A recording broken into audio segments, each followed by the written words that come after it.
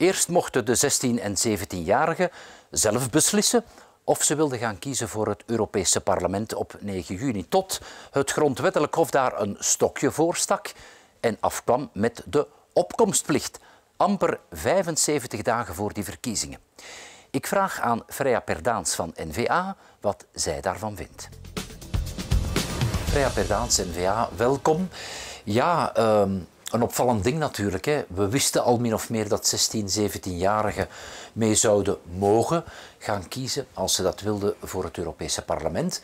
Maar plots is het grondwettelijk hof daartussen gekomen en heeft gezegd nee, die jongeren moeten gaan kiezen. En dat is een verschil, een serieuze slok op de borrel natuurlijk.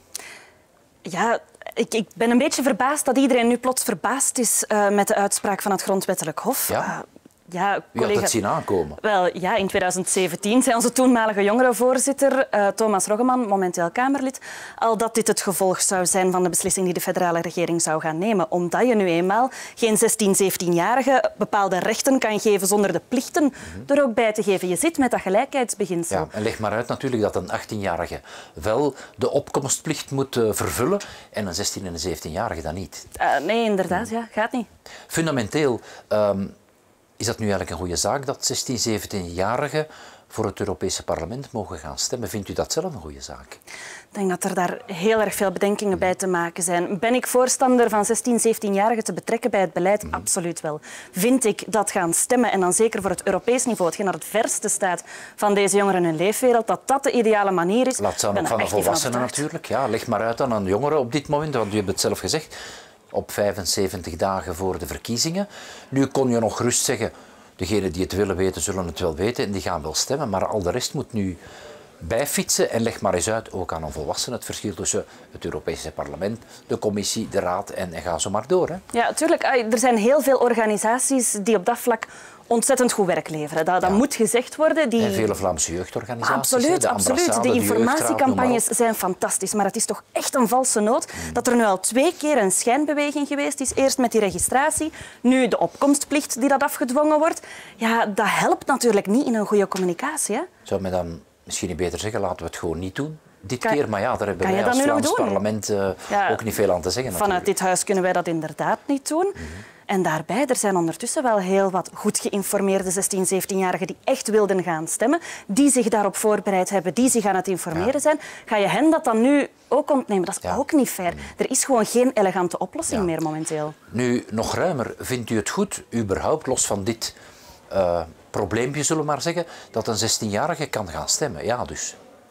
Ik ben daar persoonlijk geen voorstander van. Ik ben groot voorstander van het betrekken, en dat is niet vanaf 16, maar dat is voor alle leeftijden, uh, voor het betrekken van, van jongeren, ouderen, van iedereen bij beleid. Moet dat met stemmen?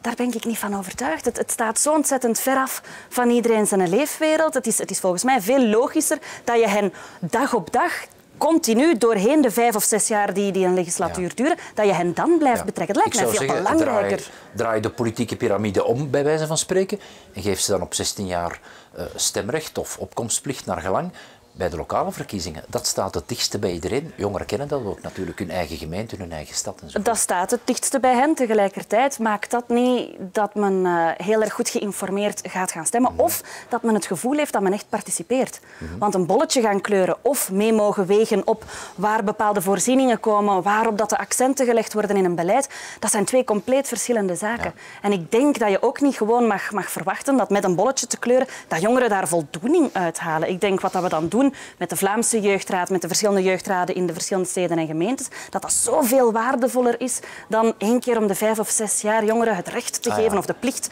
te okay. gaan stemmen. Nu komt er iets bij. Daarvoor was het ja, doe maar, zie maar. Maar nu is het verplicht, met andere woorden, sancties. En dan hoor ik u zeggen, alsjeblieft, we gaan die toch geen sancties geven. Of heb ik dat verkeerd begrepen? Wel, ik, ik pleit er zeker niet voor om, zeker wanneer dat we dat niet doen voor meerderjarigen, expliciet 16, 17-jarigen wel te gaan sanctioneren. Nee. Dat lijkt mij opnieuw een inbreuk op ja, het gelijkheidsbeginsel. Maar dat zijn dan ook minderjarigen waarvoor andere rechtsregels gelden. Ja, maar niet op dit gebied. Mm -hmm. Niet op dit gebied, hè, want die, die opkomstplicht is vanaf 16 nu, Mhm. voor de Europese verkiezingen. Ehm, nu, wat dat, wat dat wel zo is, ja, je kan niet voor de ene alleen de rechten aanbieden en, en dan niet de plichten, voor de andere wel de rechten en de plichten. Tegelijkertijd, in de feiten zien we dat er niemand gesanctioneerd Mhm. wordt op dit moment. Ja, dat gaat najagen om dat wel te Ja. doen, maar dan stel ik mij alvast de volgende vraag. Waarom staat het in de wetgeving als we daar niks mee doen? Ja, natuurlijk, maar kan iemand vanuit een parlement dan zeggen... Ja, we moeten de wet niet volgen. U hebt zelf met heel wat andere collega's al die wetten gestemd. En ja, dan worden wij toch verondersteld om daarnaar te goed luisteren. punt. Nu, wat deze wetten betreft, die hebben wij niet gestemd. Dat was niet in dit huis. Nee, nee, natuurlijk Ehm, niet, maar ik bedoel in het algemeen, het van principe, Om, om die grondwet inderdaad ook voor herziening eh, te, gaan, te gaan Ja, ja natuurlijk, hè. dat is een andere kwestie. Maar gewoon het principe dat er is, een, er is een wet Ja. die iedereen moet volgen. En we kunnen dan toch ook voor andere domeinen geen uitzondering Maar dat is absoluut waar. Wanneer dat je een wet dat stemt, is dan ga je daar navolging aan moeten geven. hypocriet. Hoe bedoelt u? Wel, dat we zeggen, ja, we vinden het wel niet goed, maar we gaan het dan ook niet sanctioneren. nee, nee, nee, nee. nee. Dat heeft u mij niet horen zeggen. Hetgeen wat dat ik zeg, is dat wanneer we niet sanctioneren, momenteel in de feiten, hè, we, we volgen die wetgeving eigenlijk niet op voor meerderjarigen, dan zou het hypocriet zijn om dat wel te gaan doen voor 16, Ja. 17-jarigen. Oké. Tegelijkertijd, waarom staat het nog in onze wetgeving als we daar geen sanctionering aan Ja, verbinden? want er is in het verleden natuurlijk nog wel we dat dan niet op? Ja, met, met allerlei dingen gegoocheld, met de opkomstplicht of het stemrecht toe te verlenen. We zijn daar in België toch wel ehm, een, een rare geschiedenis aan het schrijven. Er wordt alleen eens een, een interpretatie op die grondwet toegepast. hè. We hebben dat in dit dossier meerdere keren gezien. Ja, want u noemde zelfs het jaartal 1919. Ja. Mm, Dat was denk ik het, de, Was ik de- zelf niet bij. Het, het akkoord van Loppen bedoelt u? Correct. Hè? De staatsgreep van eh, koning Albert. Ja, maar ja, het is... Het, ik, ik zal nu niet zeggen dat het effectief dergelijke proporties aanneemt, Hmm. maar wat dat we in dit dossier gezien hebben, is toch wel een heel erg vrije interpretatie Ja, want- van dat beginsel, hè, Ja, van die want- opkomstplicht. Daar was het natuurlijk van ja, mensen Ja. te laten stemmen zonder dat het in de grondwet mocht. De mannen hè, mochten het toen doen enzovoorts. Nu, eh, laten we eens kijken. Wat verwacht u nu aan problemen op 75 dagen voor de verkiezingen? Want ook het Vlaamse parlement bijvoorbeeld, ook de gemeenten moeten dat allemaal nog organiseren. Ja, ik hoor het de minister graag zeggen. Hè. Er gaan geen extra middelen komen richting het bijsturen van die informatie. Maar 75 dagen voor de verkiezingen, alle informatiecampagnes lopen.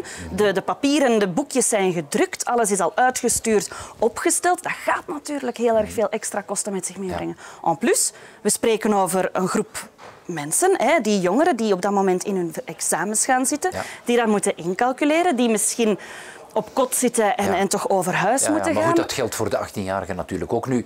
Dat is zo, maar die wisten dat wel al langer dan Die wisten 75 het al dagen langer. voor de Ja. verkiezingen. Nu, tot slot zou ik zeggen, wat verwacht u nu? Gaan er veel jongeren dan maar gewoon thuis blijven? Zeker als u zegt, ja, wordt toch niet gesanctioneerd. Dat is eigenlijk het signaal. We zeggen, blijf maar thuis. Ik, ik durf daar geen uitspraak over doen. Ik hoop dat heel erg veel jongeren uit zichzelf het gevoel al hadden dat ze wilden gaan stemmen. Want anders is heel deze historie Ja. absoluut Mocht voor u nu niks nog geweest. 16 jaar zijn, met alle respect, Ah. ik ga niet over uw leeftijd beginnen, zou u het doen? Ik vrees dat ik een atypische jongere was. ehm, en ik ben niet eens zeker of ik het zou gaan Ah, doen. ja, ja. Atypisch, Want het is maar een bolletje Ik zat- toch in de politiek, Ik zat in de jeugdraad en ik ja. had al in de kindergemeenteraad gezeten. En ik was al heel erg bezig met politiek. Dan wel niet partijpolitiek. Ik weet niet of ik zou gaan stemmen Oké, zijn. fijn, een beetje een politieke nerd dan, maar het is goed afgelopen, denk ik. Want tot slot, voor de echte grote verkiezingen 9 juni staat op de vijfde plaats in Antwerpen. Tevreden? Ja, zeker. Ik, eh, ik ben heel erg dankbaar met de waardering die dat die plaats is, denk ik toch, hoop ik toch. Ja, voor het werk dat ik heb. Vooraan eh, Jan Jan Bon, dan Annick de Ridder op twee, drie eh, van Miert uit de Kempen en dan onze voorzitter van het parlement. En dan komt daar de jonge en frisse Freya Perdaans op nummer vijf. Ik, ik mag mij inderdaad gelukkig prijzen. Ja.